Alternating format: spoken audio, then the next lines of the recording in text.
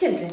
Today I am going to discuss about the topic Earth's only satellite, the moon. The moon is unique in our solar system. Most of the planets have satellites, but they are very small. They are very small in relation to their own size. Whereas the moon has diameter of approximately one quarter that of the Earth. In fact, Earth and moon are often as a, often referred to as a double planet movement Earth and Moon revolve around the very center, which is also called the common center of gravity of the center. But at this point lies within the globe. One can say that Moon revolves around the Earth. The axial rotation period is exactly the same as the orbital rotation.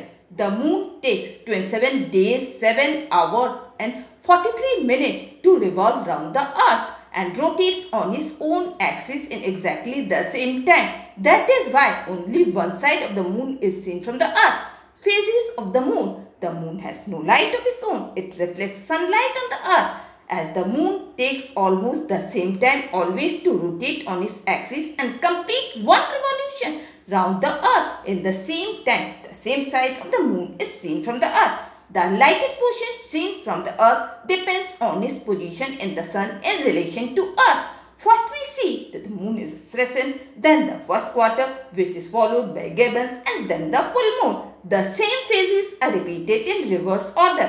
The gibbous, the last quarter and the crescent and the new moon again. The various stages from new moon to new moon are called the phases of the moon. The stages from new moon to full moon is said to waxing whereas Full moon to new moon is said to be waning. Eclipses of the sun and moon. The word eclipse is derived from the Greek meaning failing to appear. In ancient times, people were very scared of celestial phenomena like solar eclipse. Chinese believed that a dragon in India, equivalent to Ketu, was trying to swallow the sun. They used to make a great noise to frighten it away. However, it is now a well-known fact that eclipses happen in our solar system when two terrestrial bodies are directly in the line with the sun. The planet farther away from the sun is then in the shadow of their nearer body.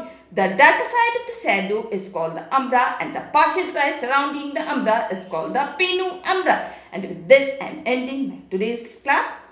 Goodbye.